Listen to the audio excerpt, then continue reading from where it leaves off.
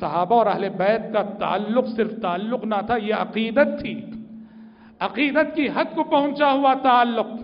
अकीदत की हद तक ये एक दूसरे को वो चाहा करते थे। उसका एक और बड़ा सबूत ये है कि अहले बैत अपने बच्चों के नाम सहाबा के नामों पर रखा करते थे।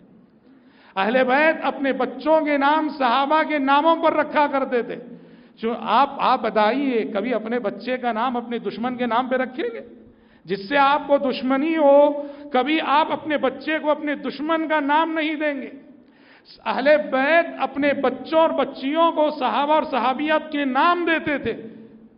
और बल्कि बसा अवकात तारीख में यह भी आता है कि अबू बकर अगर किसी का नाम रखा, एक बच्चे का नाम अबू बकर रखा तो तबीयत सैर ना हुई, दूसरे बेटे का नाम भी अबू बकर रखा। पहले को कहा अबू बकर अल अव्वल दूसरे को कहा अबू बकर सानी ये अबू बकर अव्वल है मेरा बेटा, या अबू बकर दुवम है मेरा बेटा।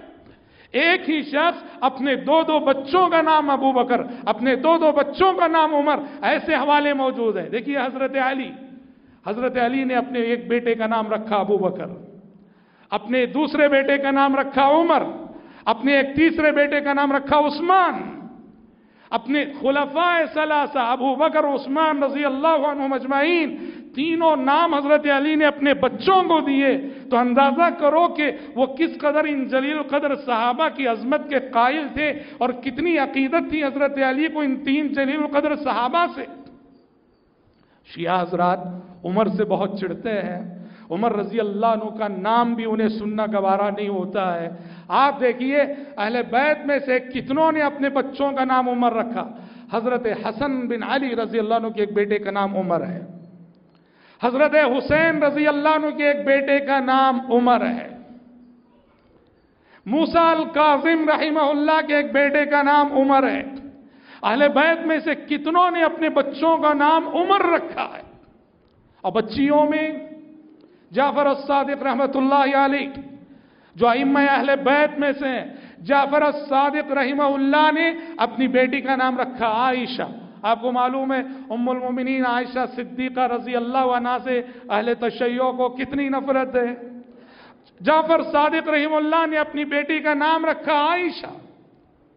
अली रजा रहीमुल्लाह ने अपनी बेटी का नाम रखा आयशा। हज़रत जाफ़र बिन अबू तालिब के बेटे का नाम मुआविया।